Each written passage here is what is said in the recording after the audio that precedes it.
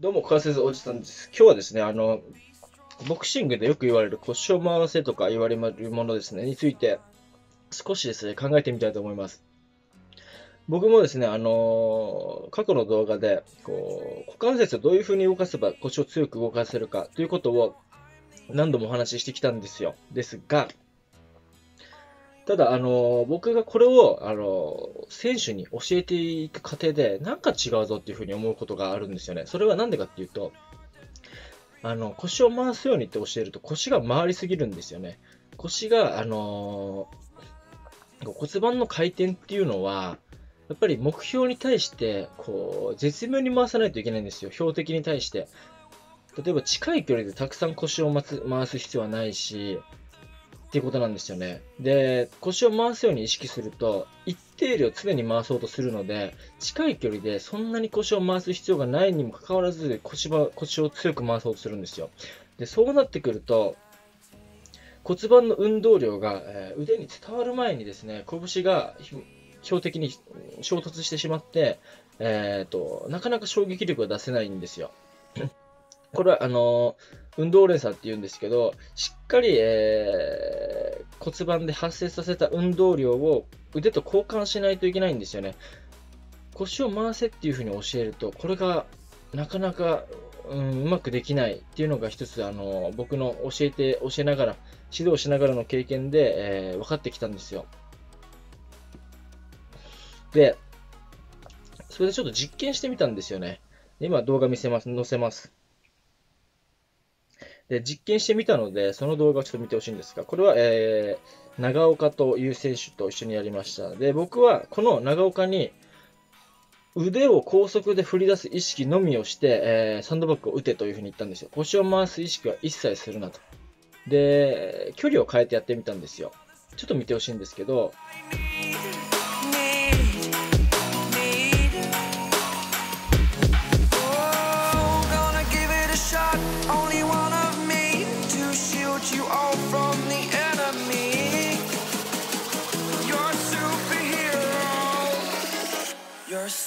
superhero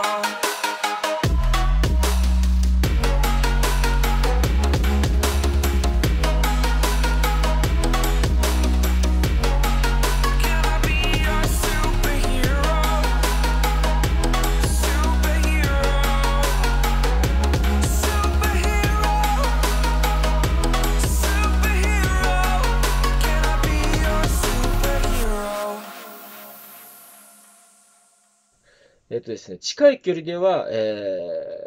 ー、小さな回転角度で、大きな距離では大きな回転角度で腰が回ってます。です。この腰、骨盤の回転に合わせて、股関節のひねりの強さも、え、調節されてます。つまり、で、これってね、意識的にはコントロールできないんですよね。瞬間的なことなので、一瞬でしかないので、これは、えー、距離が近いからこれぐらいの角度とか、距離が遠いからこれぐらいの角度腰を回そうっていうことは意識できないんですよ。これどういうことかっていうと、無意識が勝手にやってるんですよね。無意識のやっぱ計算能力が必要なんですよ。これぐらいの、あの、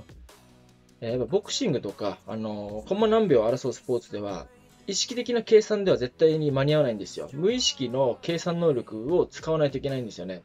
具体的な動作は絶対できないんですよ。試合中とか、あのスパーリング中には。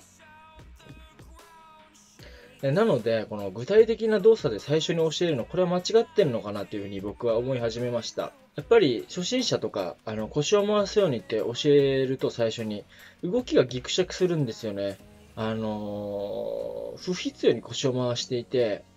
なんかすごい違和感を覚えるんですよ。で、僕はこれちょっとどうにかしないとなと思ったんですよね。このままの教え方では、いつまで経ってもボクシングが上手くならないなと思ったので、ちょっと教え方を変えました。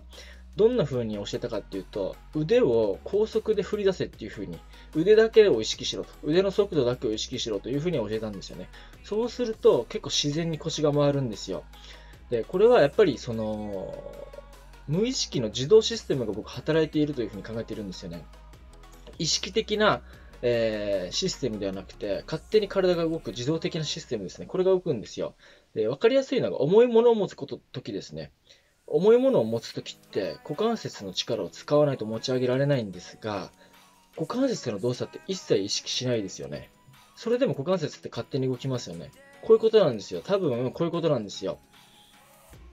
えっ、ー、と、強い力とか大きな力を意識すると、えー、パンチの場合だと腕の速度ですね。これを意識すると自動的に筋力を発揮しやすい股関節が、えー、脳みその無意識の自動システムによって、えー、起動されてですね、骨盤が回るというふうに僕はあの結論したんですよね。だから、えー、初心者、特に初心者ですね、動作がある程度染みついてきた中級者、上級者はそうではないのかもしれませんが、初期心者に関しては、僕は、え、腰を回す意識はさせないようにしてます。とにかく腕を高速で振り回せと、そういうふうに教えています。そうすることによって、脳のですね、無意識の自動システムによって、股関節が、えー、ひねられて骨盤が強く回ります。でまあ、今回の話に関しては、僕の長浜説ですね、なんか、えー、ジムで教えていて、なんか違うぞって感じて、えー、その辻褄を合わせるように僕が、あのー、考察した結果であるので、長浜説です。これにアカデミックな、えー、根拠はつけられません。ただこうじゃないかっていう考え方ですね。そこだけ、えっ、と、ご了承ください。今回の動画楽しかった参考になったという方は、いいねボタン、登録ボタンお願いします。